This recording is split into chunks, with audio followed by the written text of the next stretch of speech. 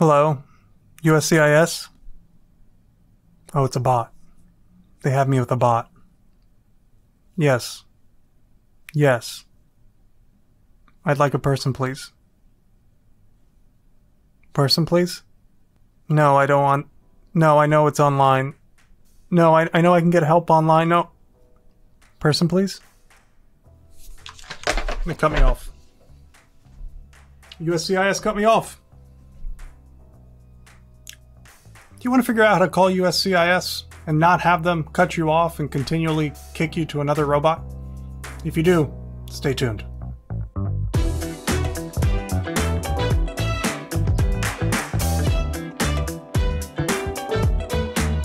Welcome to Log Rate, the channel where I give you reliable information to help you make better decisions and avoid costly mistakes on your immigration journey. My name is Damjan Denoble, and I am the managing attorney at Frontera Tech Law with offices here in New Haven, Connecticut. This is video three of the streak, whereby we are posting Monday through Friday, and we're going to see how long we can keep that up.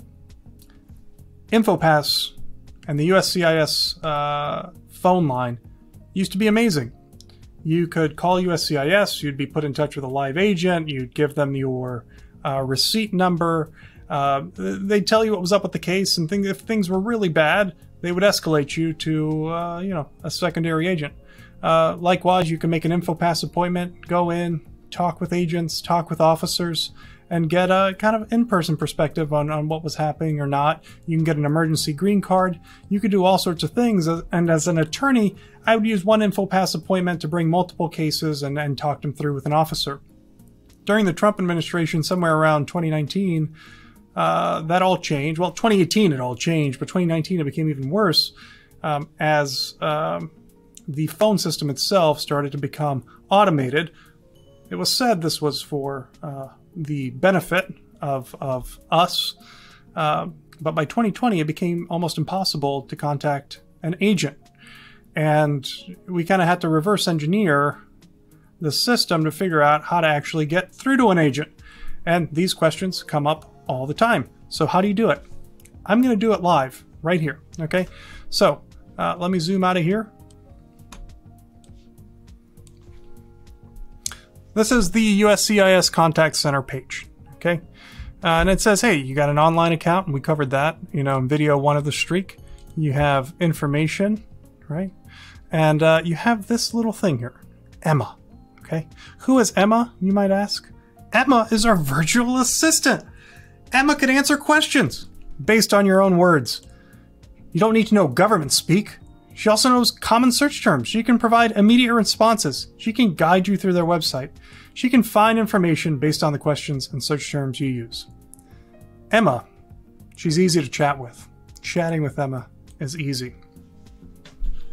Here she is, right here in the corner. Hi, I'm Emma. I'm programmed. How to chat with Emma. You can talk to her, okay? All right. So Emma comes in that form, but she also comes with this form. Okay, so let's call this number. Okay, I'm going to put it on speakerphone and we're going to see how Emma works on the phone and, and if there's any way to get around it.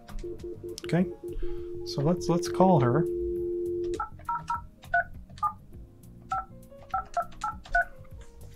Okay, so let's see what we hear. Thank you for calling U.S. Citizenship and Immigration Services You're so welcome. or USCIS. Yes, USCIS. español, oprima el número dos. I will stay with English. We'll stay with English To today. ensure a high quality of service, we record our calls. Fantastic. At any time during this call, say privacy notice to listen to our Privacy Act notice. I can understand complete sentences, so tell me, how can I help you? This is Emma.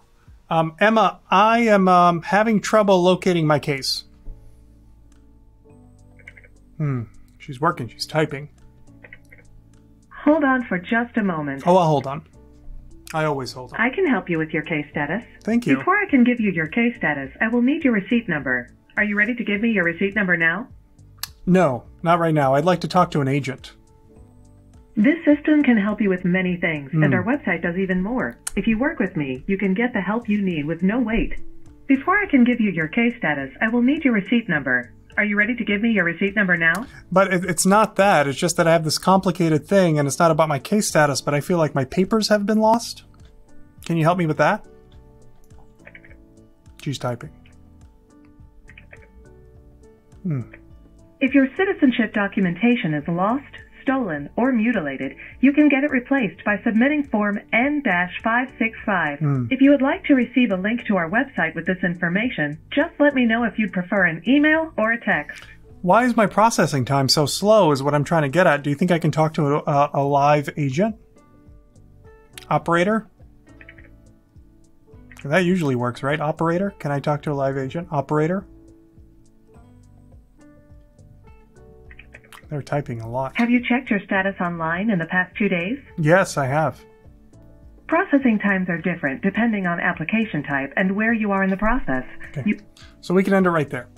Um, there's no none of the usual words work. Live agent, operator, anything. It's just this maddening loop when you have a complicated question where it just pushes you back into its own system and kind of randomly guesses at what you need. Now, given if I had a receipt number, what would have happened? If I had a receipt number, it would have simply told me what my status was uh, based on whatever the USCIS status checker says. But that's not what we call USCIS. We call them for complicated issues. Hey, I didn't get my EAD card. Hey, my naturalization request for evidence response hasn't been responded to in months. Like, I need to talk to somebody. So, what do we do? All right, so let's try that again. And I'll show you the magic words. There's several. Thank you for calling U.S. Citizenship and Immigration Services, or USCIS. You're welcome. Para español, oprima el número dos. Not this time. Not this time. To ensure a high quality of service, we record our calls. At any time during this call, say Privacy Notice to listen to our Privacy Act notice. I can understand complete sentences, so tell me, how can I help you? InfoPass.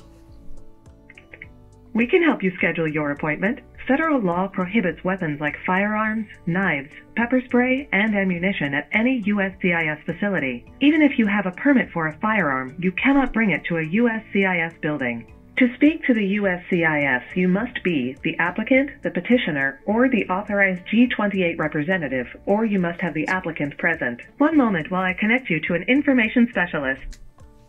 Did you hear that? One moment until I connect you to an information specialist. That's how you do it. So that's InfoPass is one. Okay. Um, there are other words, but that's, you know, some of them are special lawyer words, and I don't want to make the legal community angry.